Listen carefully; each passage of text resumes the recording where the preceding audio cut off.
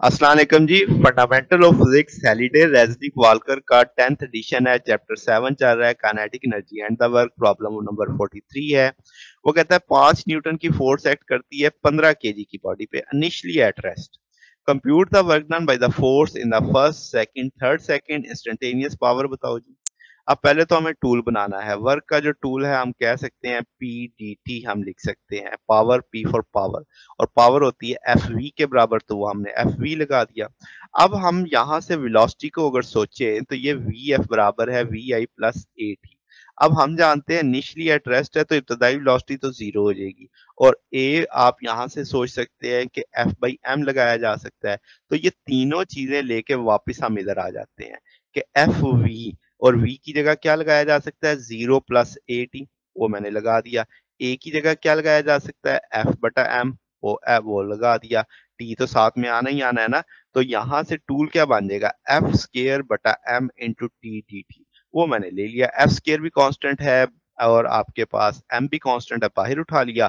T D T इसे solve करेंगे तो फिर आप लिमिट्स लगा देंगे साथ ही। T two square minus T one square आ जाएगा वन बाई टू बाहर आ जाएगा तो ये आपके पास रिज़ल्ट आ गया। अब क्या जनाब, अब हमने टी वन सेकंड से ज़ीरो सेकंड से वन सेकंड के बीच में देखना है वर्क डन तो पहले अब आपके पास जो कंडीशन है, उसमें हम टू लगा देंगे एफ़ की वैल्यू भी एम की वैल्यू भी टी टू और टी वन की वैल्यू लगा दी तो ज़ीरो पॉइंट एट थ्री का। फिर सेकंड सेकंड के अंदर देखेंगे तो वन से टू के दूरी का, आप वन सेकंड से टू सेकंड के बीच का वर्क देखना है।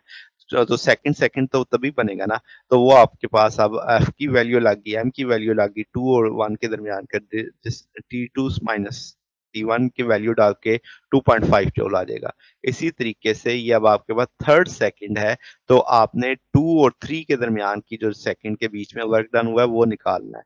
तो आप कह सकते हैं टी टू थ्री सेकेंड है टी वन आपका टू सेकेंड है, वो वैल्यूज़ डाल जाएँगी तो 4.2 जूल हो जाएगा। तो पहले सेकंड में इतना वर्क हुआ, दूसरे सेकंड में इतना वर्क हुआ, तीसरे सेकंड में इतना वर्क हुआ।